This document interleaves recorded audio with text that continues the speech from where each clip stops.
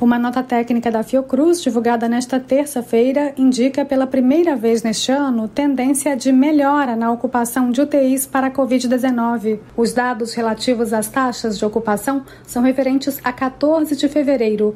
Dos nove estados que se encontravam na zona crítica, com taxas iguais ou superiores a 80% de lotação de leitos de UTI Covid na semana anterior, somente quatro permaneceram nessa condição: Rio Grande do Norte, Pernambuco. Pernambuco, Mato Grosso do Sul e Distrito Federal. Outros cinco passaram para a zona de alerta intermediário: Tocantins, Piauí, Espírito Santo, Mato Grosso e Goiás. Já o Amapá e o Ceará saíram da zona de alerta intermediário. Entre as capitais com taxas divulgadas, sete estão na zona de alerta crítico: Rio Branco, Natal, João Pessoa, Rio de Janeiro, Campo Grande, Goiânia e Brasília.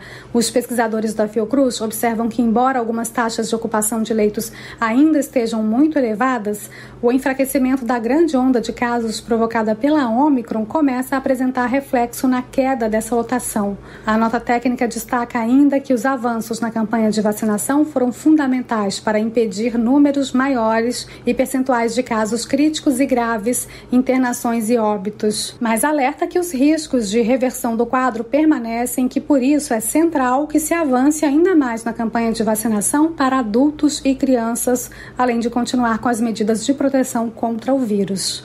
Da Rádio Nacional no Rio de Janeiro, Fabiana Sampaio.